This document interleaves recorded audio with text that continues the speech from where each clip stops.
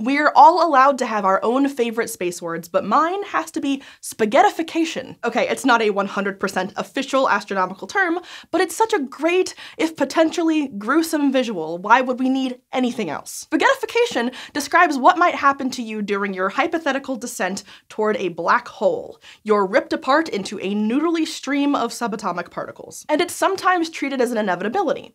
But because there's still a lot we don't know about black holes, astronomers have proposed ways you could possibly avoid a spaghettified fate. How does a human body, or any clump of matter, get turned into a noodle? Well, it all comes down to what's called a gravitational gradient, how the strength of gravity varies with distance from a massive body. Basically, the closer a bit of matter gets to another bit of matter, the stronger the force of gravity. But it's not a one-to-one -one relationship. If you cut the distance in half, you multiply the strength of gravity by four. So imagine you're an astronaut chillaxing near a black hole with your little astronaut booties pointed toward the event horizon, the infamous point of no return where gravity is so strong you inevitably spiral down into the singularity at the heart of that black hole. Your feet will feel a slightly stronger pull than your head. Far enough away from the event horizon, the difference isn't particularly noteworthy. But as you drift closer and closer, it gets larger and larger. Eventually, the gravitational gradient is so large it overpowers the strength of the tissues holding your body together.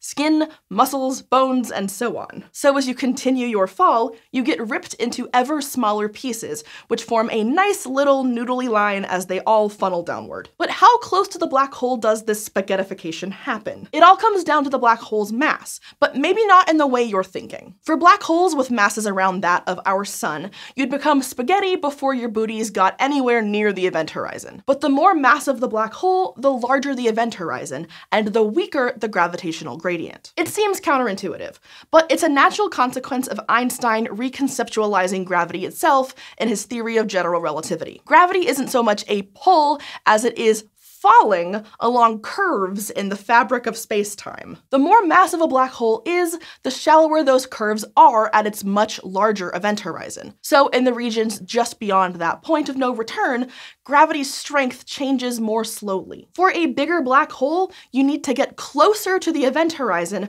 for the full spaghettification effect. But for supermassive black holes, black holes that are millions, if not billions of times the mass of a single star, the extreme forces you need to tear your body asunder happen, well, inside the event horizon. So if you slip past the event horizon of a supermassive black hole, all is not lost. You'll never see your friends or family again, but you might not be spaghettified. Because while physicists have plenty of models for what happens inside an event horizon, no one knows what will happen, and the math often creates paradoxes. In trying to solve some of these problems, like not knowing whether or not information is destroyed when it passes through the event horizon, theoretical physicists have proposed some pretty extreme ideas. For example, back in 2012, one team suggested that any matter that reaches the event horizon of a black hole would be almost almost immediately incinerated by a quote unquote firewall of radiation created as the black hole evaporates. While the idea of a black hole wall of fire is controversial, according to that worldview, you would escape the fate of spaghettification if you were falling into a supermassive black hole. You're still dead, of course, so it's not a happy ending, but there were one? To avoid death, you would first hope that the black hole you've fallen into is spinning. When pop science talks about spaghettification or anything to do with black holes, really, it's often in the context of non-rotating black holes. But most black holes start off as a dead star. Stars rotate at least a little bit, so theoretically, most black holes rotate at least a bit too. And because of that rotation, the physics gets pretty complicated. For example, the fact that it spins means it actually drags the fabric of space-time around it, creating creating not just one, but two event horizons, one inside the other. Most theoretical physicists think that any matter that reaches this inner event horizon before being spaghettified will either finally be torn apart or fried from all the radiation. But there are a few who think otherwise. Instead, you could experience any one of an infinite number of futures past that inner horizon. Maybe you get the one where you survive your trip through the black hole entirely. Because rotating black holes have another weird quirk.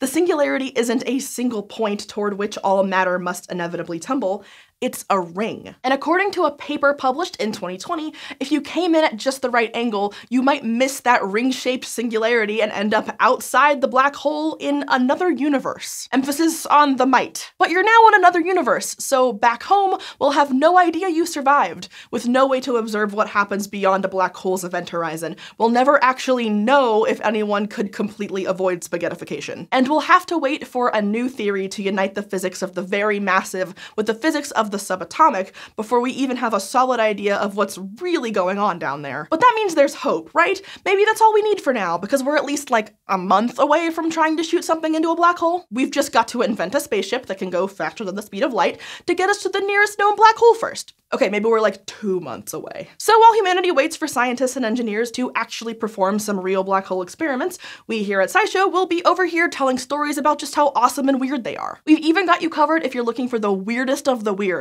like this video on a hypothetical kind of black hole that isn't even black because it's naked, and this one which asks if we could make a black hole out of light. So thanks for watching, and if you'd like to help us cover even more black hole awesomeness, head on over to patreon.com slash scishow to find find out more.